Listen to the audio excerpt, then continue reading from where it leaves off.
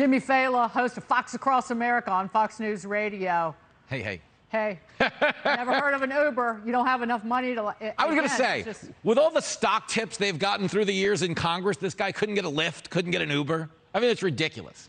but I actually don't expect him to get like prison time. I think the judge would sentence him to like time served for being married to Pelosi for 40 years. I mean, hasn't the man suffered enough, Your Honor? How about an I'm sorry? Yeah, I like mean, a public I'm sorry to the car, the dude he hit and injured. Yeah, smoked a guy. Uh, no apology, no ownership. Uh, the one thing that shocked me about this case is the Democrats haven't used it yet to push electric vehicles.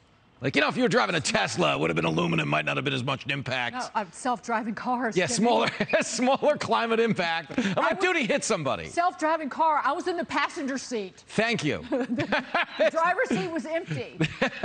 That's funny. You never, it's, it's never beneath them to do that.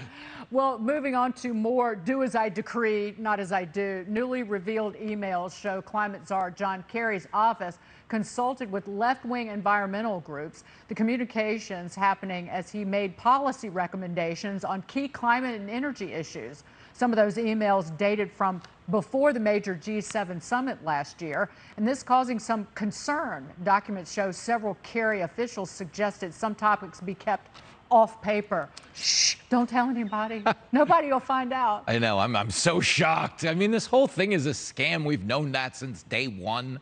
Uh, you know, I'm surprised he didn't just eliminate the middleman and meet directly with China because they're the only ones who benefit from this. This is ridiculous. All the solar panels are made there, and they're not even paying attention to climate change either, opening up coal plant after coal plant. All we've essentially done with green energy, since we all share the same planet, but we're the only ones really cutting emissions, is we've created a no peeing section in the pool. But it's all the the same pool, so we're basically swimming in the filth anyway. That's the thing. Thank, yeah, thank you for that. that beautiful analogy. Yeah, now I'm distracted. The only thing I'll defend Kerry on really quick is he has to fly private because if he flies commercial, everybody in the airport thinks it's Mr. Ed and then they want to pet him and they want to ask about the TV show. I was going to make a joke about the size of his head, you know, with the other passengers on the on the commercial fit. airliner. He needs a jet all yeah. just for his own noggin. It, it, it's hard to ask the guy next to you not to use a plastic straw when you've got that much plastic in your face. Like I get it, it's hard for him. No, no, we don't. We, we have no no confirmation of that. no, con, no confirmation of that. But again, his wife does own the um, charter, the jet charter company, and he has a stake in it. So Unreal. they're profiting from polluting the, you know, mm-hmm. damaging Mother Nature. Of course. So I, this is my favorite story. This is better than the Lopez Ben Affleck wedding. She's Finland's prime minister and a controversial party girl. Sanna Marin's office says her drug test has come back negative, Jimmy. a test over after the backlash over these videos, the 36 year old leader doing some dirty dancing at a party. Some wondered if she'd been using drugs. Again, the test was negative.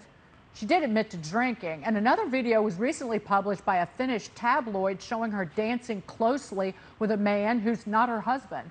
Some critics are calling her out for all of it, but Marin insists that any partying is done on her own time does not impact her job performance. And some are rallying behind her. The Wall Street Journal with a piece stating businesswomen and politicians are supporting the prime minister and her work hard, play hard message, asking, how is a woman criticized for doing something almost every human being enjoys. Let me replace human being with dude, man, male.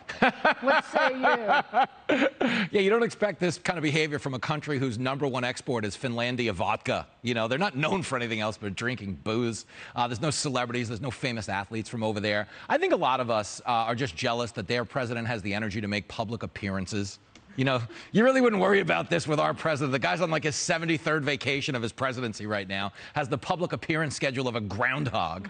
But uh, it's not a good look for a head of state, that being said. I mean, she looked like she was auditioning for the next season of Jersey Shore.